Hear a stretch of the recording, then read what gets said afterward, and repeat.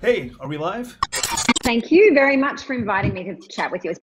And thank you so much for, for, for having me on. Here we go. Okay. What are three important qualities you look out for in candidates um, that you help place? Or Beth? Well, I, um, so so one biggie, and and we we use a we use a, a real specific process. So we use ZipRecruiter and we have knockout questions. So hopefully we're not even having to review uh, an app if they can't make it through kind of the knockout question phase of it. Uh, secondarily, we do a, a video chat interview that we record and we do prior to sending it up the chain. And the third thing, which is maybe the most important thing, is we use Kolbe Right Fit. So K O L B E. So Kolbe measures the way people take action, their mode of operation, the way they work. And Right Fit, if if I'm going to work for David, well, David would have taken his part of Kolbe. When I take Kolbe, it lines up whether I'm a right fit, not just for the job, but am I a right fit for the job and will I work well with David? And I get an A, B, C, D, F score for that. And we find that that has made such a significant difference. I believe we've used Kolbe Right Fit for the last three years. And, um, you know, the three years prior, uh, the I, I can tell you it works better to make sure we have Kolbe Right Fit. So, David, I'll talk to you more about that offline if you'd like. I see you writing that down. I was thinking the same thing. How fascinating! Um, just for my own curiosity. Um, David, do you have three important qualities that you look out for, or do you guys have your own way of measuring things like strengths or personality or anything like that that you do?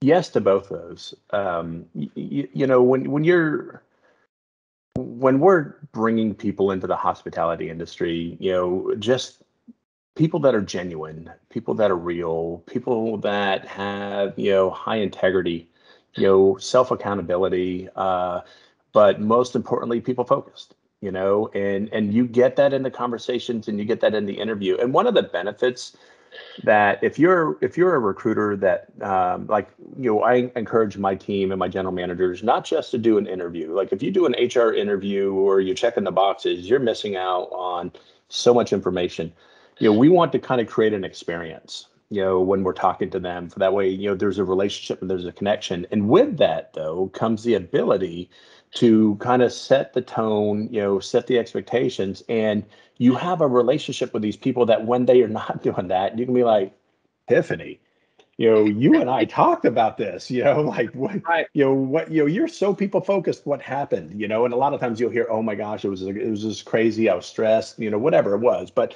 you know, but you have that ability to, you know, kind of uh, connect with them and kind of recalibrate them, if you will. Um, and then, you know, uh, you know, along with Beth, you know, we too, um, you know, you know, have screening questions in the beginning. You know, you really rely on the recruiters. We put we put the ownership of the quality of hires on the recruiting team and you know and we evaluate that in a 90 day turnover so if you if, if if i lost beth in 90 days there could be something that I missed. You know, what did I miss in the interview? We go back and evaluate that. One, just from a coaching standpoint, not not from a aha. You know, I caught you. You know, you missed something. Right. Maybe. You know, it, that's not the case. You know, you know, it, it, it's from a learning standpoint. And so when they when they take that ownership, and and they also get recognized for it, right? You know, there's there's a lot of pride in in hiring people, and you know, and you just see a you know much more consistency in the hires. So you know so the recruiter interview is really really really important. You know there's an assessment that goes that's involved. It's you know the assess the assessment and the background check you know help us make the hiring decision. It's not black and white in that sense. And then at the end of the day it really is the general manager's interview and the recruiter's interview. Um, or if you're in the corporate office the hiring manager's interview and the recruiter's interview that uh, determines if we're going to move forward with you. Very good Um, I think I already know your answers to this one, but when it comes to hiring a GM externally or to promote someone within or internally, what are some successes that you've had with internal that would work or that have worked and those that didn't work out? David, you take that. You got so many. Sure. more. I can jump in on this one. So we we have hired some direct hire general managers, and we we have had success. You know, um, it's it's 50-50. You know, you have to be a very flexible company when you do that. You have to be forgiving. You you know, you can you can train them up, but like you know, like uh, training is eight weeks. You know, you can't come out of eight weeks training and run an eleven million dollar store that's open to one o'clock on Fridays and Saturdays, and you're leaving at three. You know, you know, you just you you know, it it literally takes um, a general manager that goes through our system. You know, probably a good six to nine months to where they're kind of comfortable. You know, and they and they under uh, they understand everything.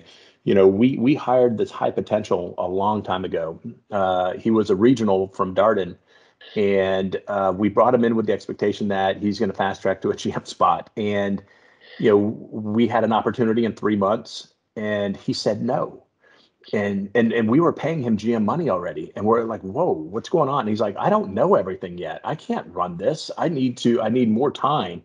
And it was probably about another four months that another GM opportunity came and you know so he was seven months in the you know um, in the saddle you know working for dave and buster's and you know became a general manager flew through the gm ranks became a regional in the you know two years and then moved on to become a vice president of operations right? Maybe would not have had that success if this individual you know jumped that you know uh, the glory of having your name on the door and this is my store and I'm, and, and and that store that you know we, we were promoting him to was a 14 million dollar store. It's a huge store. Um, so you know there you know you definitely want to take your time internally and and uh, and w- when you have somebody internally you know you know most companies have a process that they go through. We have a, lead- a leadership camp where you know you have mo- many executives taking time away from the day to come talk to the up and growing talent and you know spend one-on-one time with them.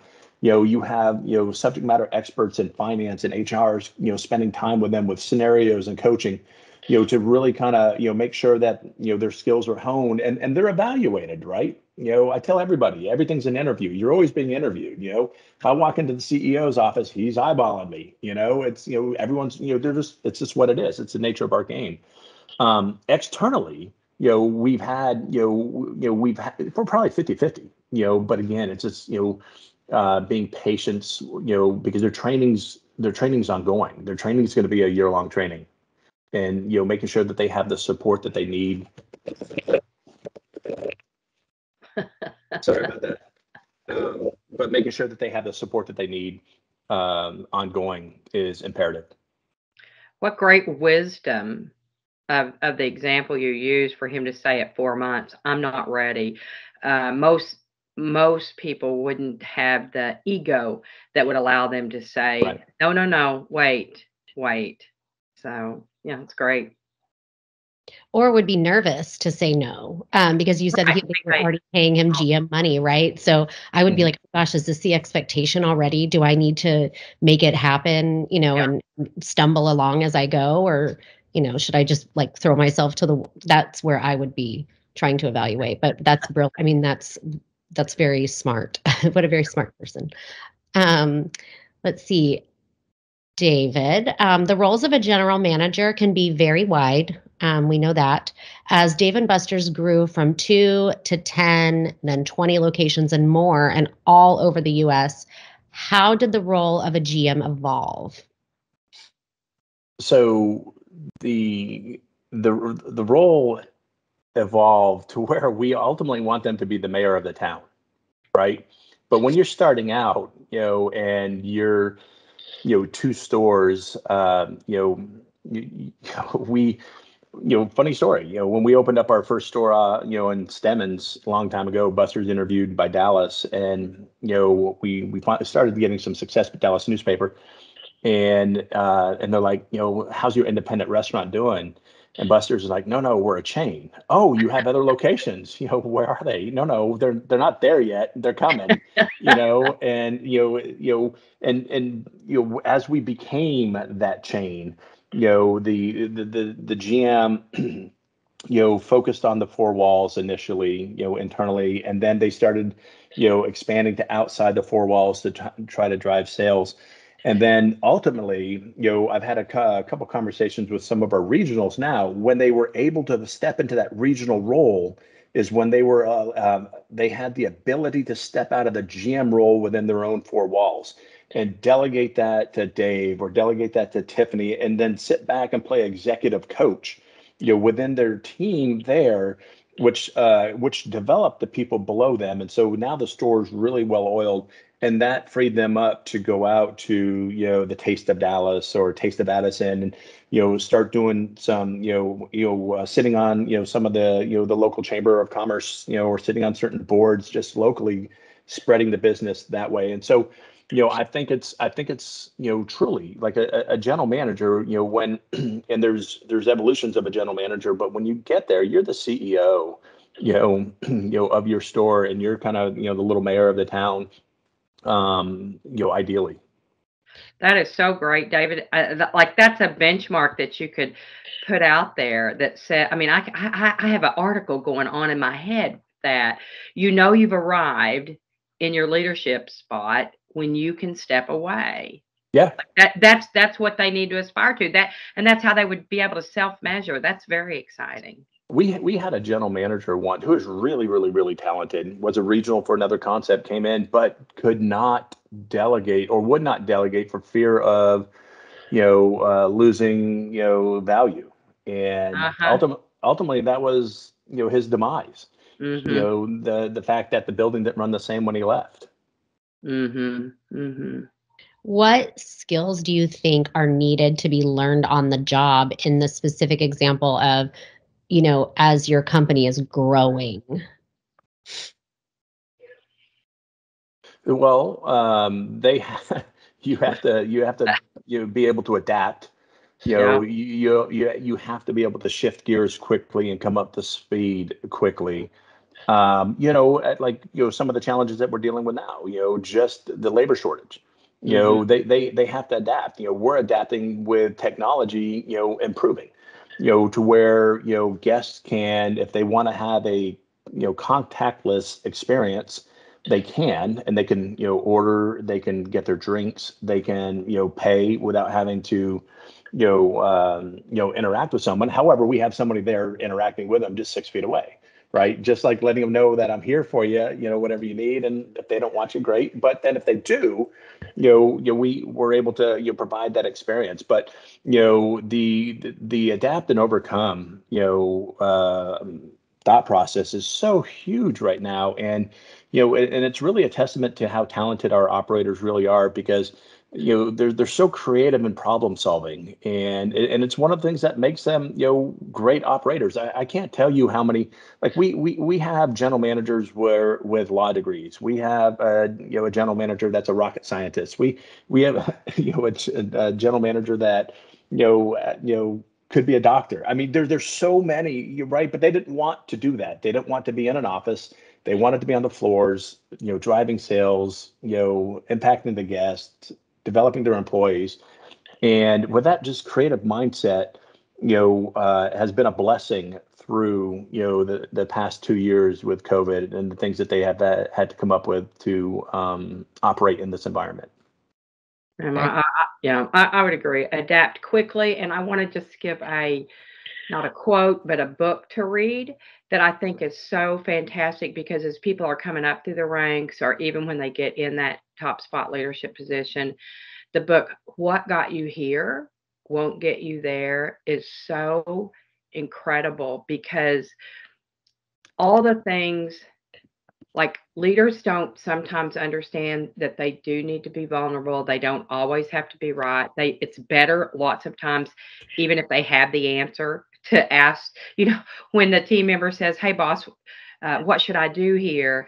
The better thing for the boss to say is, What do you think we should mm-hmm. do? Mm-hmm. And when leaders begin to learn that, they begin to really accelerate the growth of others, and that's when they can step away. But so, what got you here won't get you there. I was looking on my shelf a minute ago thinking, I can't remember the author's name, but it is so good. And I don't think anybody that's in a GM position, new or especially old ones, I think they should read it. it. It'll be one of the best reads of the year. Or listen if you're an Audible. I'm an Audible person too. So